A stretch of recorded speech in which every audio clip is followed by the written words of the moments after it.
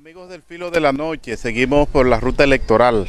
Y ya estamos a ley de 10 días para las elecciones, para que el pueblo dominicano Eh, as- asista a ejercer su derecho al voto y seleccionar los candidatos que entienda que garantizan el porvenir de nuestra demarcación, nuestra provincia, nuestro municipio y por qué no decir también lo que corresponde al país. Y viendo este desenvolvimiento que en los últimos días se ha tornado un poco tímida, que hemos visto cómo algunos de los aspirantes han desaparecido del espectro, fruto de que tal vez las exigencias de los votantes en estos días se incrementa y esta es una situación de que muchos tienen que buscar cómo guardar la cabeza con todo el cuello para evitar es, ser desangrado por una militancia insaciable. Y un grupito que tradicionalmente se aprovecha de los últimos días de los procesos electorales para exigir a todos los que aspiran la mayor cantidad de cosas que puedan conseguir. Hemos estado hablando eh, sobre las orientaciones que corresponden al plano municipal, pero necesariamente no podemos dejar pasar por alto, distinguido, tú le tienes miedo al sol, ¿verdad que sí? Sí, sí. Al sol, ¿verdad? ¿Está muy caliente? Sí. No debemos pasar por alto lo que corresponde a la responsabilidad de nuestros legisladores, quienes tienen el compromiso de hacer leyes y proyectar intenciones a través del Congreso Nacional para que nuestras provincias, nuestro pueblo pueda tener dentro de esa cobertura nacional algunos efectos positivos que puedan ayudarle a lograr despegar y, y- tener las oportunidades que hemos esperado de ver un pueblo en franco proceso de desarrollo. Generalmente los legisladores tienen un compromiso y es hacer leyes, legislar y en muchos casos canalizar iniciativas que estén relacionadas con el fortalecimiento institucional, principalmente las que están relacionadas con todo el proceso de legislar y a través de esto poder provocar cambios en nuestros pueblos y en otros casos mm, certificar garantías y dar oportunidades a que muchos puedan sentirse protegidos por la cobertura que éstas puedan tener y de ahí poder lograr realmente tener un país en el cual se, de- se den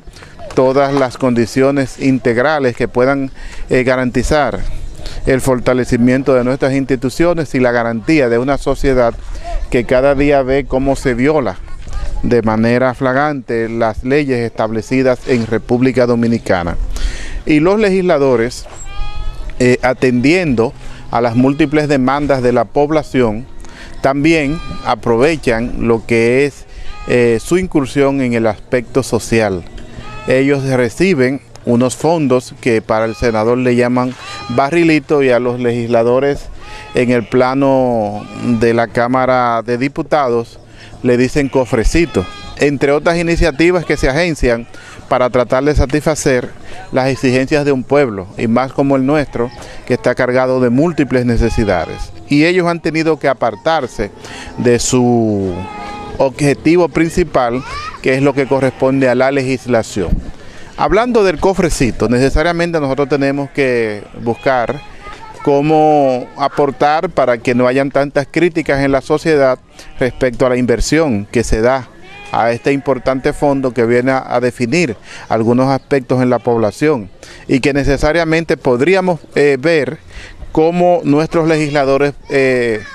establecerían un nuevo formato, una nueva proyección para tratar de dar una respuesta más adecuada y que se focalicen las prioridades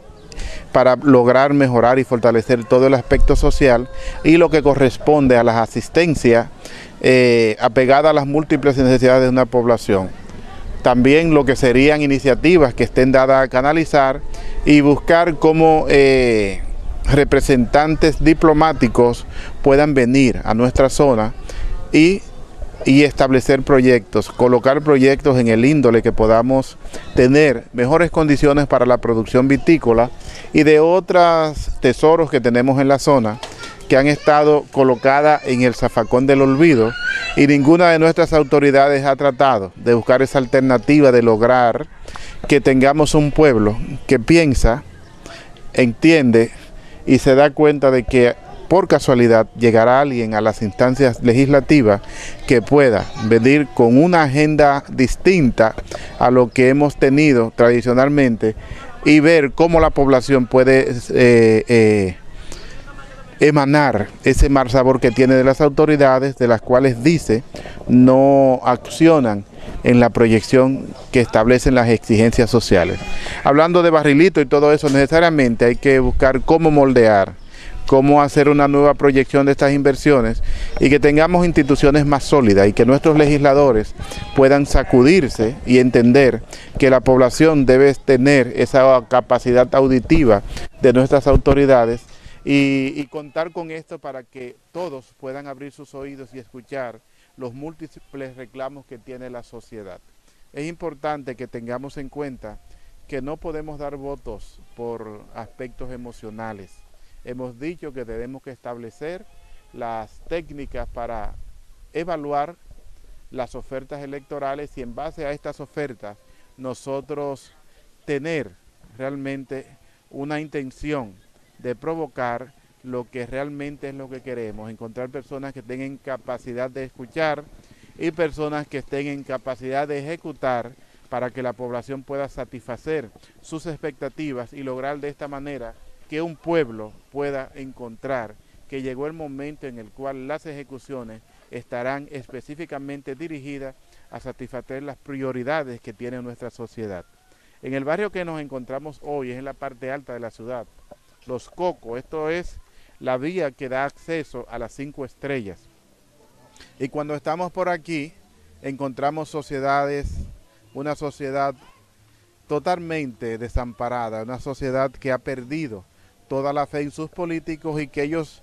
uno me acaba de decir que están esperando a ver lo que aparece y otros me han dicho que no hay tanta motivación. Y yo creo que ahí ha que estado realmente las debilidades que tiene nuestro sistema donde la falta de fe ha provocado que muchos entiendan que deben aprovechar estos momentos para conseguir alguna dádiva y de esta manera lograr de que si deposité un voto por lo menos tuve la garantía de que conseguí algo. Yo creo que es necesario que nos sentemos, que aprovechemos los días que vienen sin ruidos, sin laborantismo político, para que la población pueda tener esa gran oportunidad de reflexionar y buscar las alternativas de dar un voto sensato y que esté dirigido a mejorar las condiciones de nuestro pueblo y por ende de todo aquel que convive en una sociedad como Neiva y la provincia de Bauruco.